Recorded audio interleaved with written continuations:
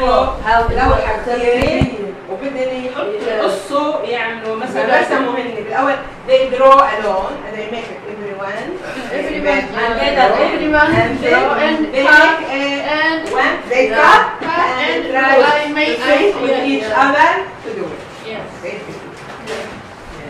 بدنا نعمل نفس الشيء بدنا نعمل كمان بطريقه كيف كان البث الأول هو عمار وهيك تخيلوا على عمار على يكون في ملعب زي المدينة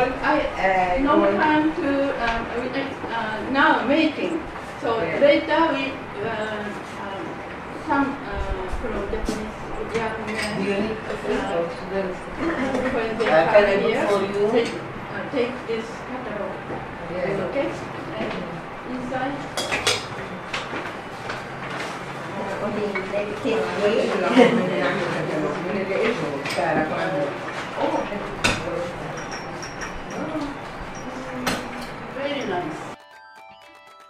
日初めてお会いしたけどそれでね、じゃあミラーあのそのやっぱりさ、わあのソーシャルワーカーは何人かが女性なの。で、陽子、ここにいるねソーシャルワーカー見るとみんな独身なんだよっていう。あそうなんですかたらジャマーラさんも独身なんだ。ジャマールも独身。ジャマールどうですか？もうじゃまあも。いやだからあれなんですよ。みんなある意味自分の人生を犠牲にしてるわけですよね。自分のが人に尽くすってことで。ね、結婚したらね、もできないう子供を作る。もうねできないの。イイスラムのなんかそういうあなるほどね。私ね医科大のね男の子とさそれやってたじゃない？そうするとねやっぱりね逆に男の子なんだけども結婚すると奥さんが口出ししてね続かないの。続かないのね、だから家庭持つとね難しいの。2人同じ意見で同じしかも若いうちは無ね理よ。無理ね。同じことをね目指してあれだけど。だからじゃじゃあジャマーラさんってのはおいくつなんですか？じゃあ誰まあ。30山内さん？ジャマジャマールジャマルはね30あれかもう30いくつってねもうもう78になってるから38ぐらいになるよね。ああそっか。そんぐらいになりますかね、うん。焦ってますね。もうもう。うん。まだ大丈夫やな。もう一人あの女の人ジャミーラ？ジャミーラ。じゃなくてあのもう一つソソーシャルワーカーやってる。えーちょっとわかんないですね。フラワー。あのあ方あれも独身？わかんない。ああそうあの人はねあんまり関わってない。電電気ですあはは歯磨きかなあんまり関わってない。なるほど。でもあの園長先生たなかなかのいや女だから一番信頼あるのよ。あの明日ね、ええ。あのあれが来ますよ。なんだっけカセムさんが。一番のあの心の中で偉い人、うん。やっぱりあの人の顔を見ると、うん。やっぱりえアラブとユユダヤのあれはさ兄弟だなっていう顔立派な顔してるんだけどあカセムさんのうん。とジャミーラさんの信頼がやっぱり、ああうん、あジャなるほミーラはね大学出てんだよ、どあそうなんですか、うん、あのえっとアラブ、えー文学科なんかの。ああ立派な人ですよ。あそうなの。うん。子供のこともよく気を使うあれするしね。だけどね絵に関してはねジャマルの方があ分かってて。うんジャミーラはねジャミラさんも企業なパレスチナ難民の出身なんです。かもうもちろん。あそう。失礼しもましちろんた何にも知らないもんみんな悲劇を持ってあーなるほど。る全員が。言ってたもんね。あのパレスチナで生まれてねあのなんかほらあそみんな逃げてきてあそこの村こここの村がどうのこうのさっき説明してくれたの。写真撮ってきたけどあれやっぱねああいうのはきちっと幼稚園の段階で教えてんのねやっぱ。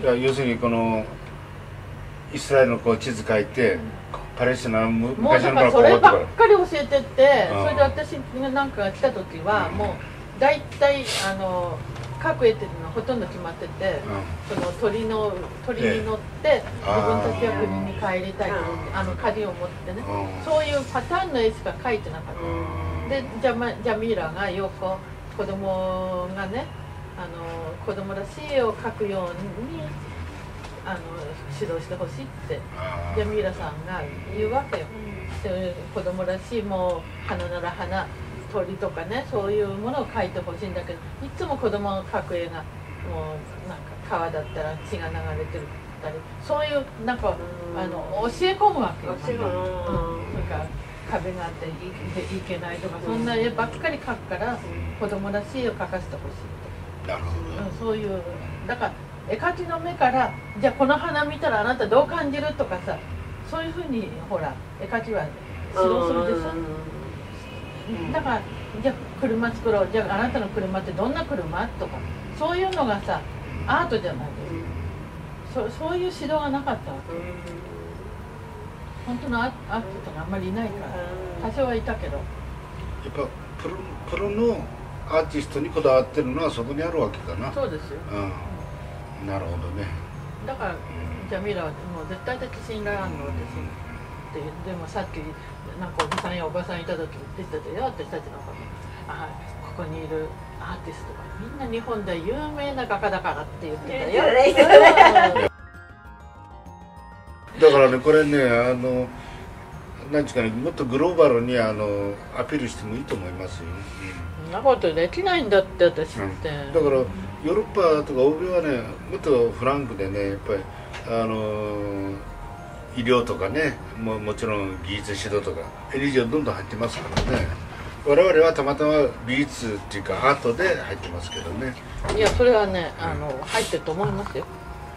いろんな国がパレスチナに、ね。そうそうそうそう。だからそそんなに変なことでもないんだけども。あでもね私たちがやってる、あのレバノンの新聞で取材に受けた時ねアーティストがなんでこんなとこ来るのって言われたの絵描きってほとんどねそういうことしないのに。あ世界中のアーティストが誰もしないわけだ。しない。いやあのね絵をね教えてる人は大体普通はお幼稚園の先生とあかそういう人たちでねアーティストはやってない専門家が。あでなんでやるのなんて言われたわよ。ーでも初めは専専門のアーティストうんが来て教えてほしいという要請があったわけでしょ。いやいや違う。そうじゃない私はたまたまうん、専門家やったということだ。そうそうそういうこと。ああそういうことか。たまたま画材を集めて、うんもうどうしようかって言ってる時そそのね私は画材はもう使い古しの画材だって画材は画材じゃない、で決してその画材はあのなんていうのその私たちは残り物の赤が欲しい時はこんな少しの赤だってそれはもらあの欲しい時は欲しいわけじゃない、だからその使い古しの赤絵の具なんてあげたって失礼になるってもっと思わないわけ。だ田中さんがそんなねあの人が使ったものをねあれしたら非常に失礼じゃないのって文句言われたの。だから「あそうですか?」っつって集めちゃった。う んなるほど、えそうよね。こういったらまあ真似しちゃって最近なんかさもうえ子供たちにおもちゃを送ろうとかさいろんなことええもうやってるけどさそんなね画材なんていうのはそんな失礼も何もないよね。はい。私はそういうふうに感じ思うから。うん。自分だって使い古しのこれ使うって言ったらもうもう本当に欲しい色だったら失礼なんて思わないじゃない。ー、もらえますよね。ねだからうん。そういうもんじゃないよっていうことよね。たくさん入ってるで少しだって赤ばっかだし。嬉しいもんねもらっただけ。で私はガザに行った時本当に絵の具持って行ってたのよ、そしたらもう本当に目輝かしてさ「ここれ僕にくれるの?」って言った時のね、えー、絵の具一本でもそんなに嬉しい。それってアーティストの心じゃないそれものすごい私ああなんかしてあげたいっていう思いがあったわけあれは良かったなと思ってさ、うん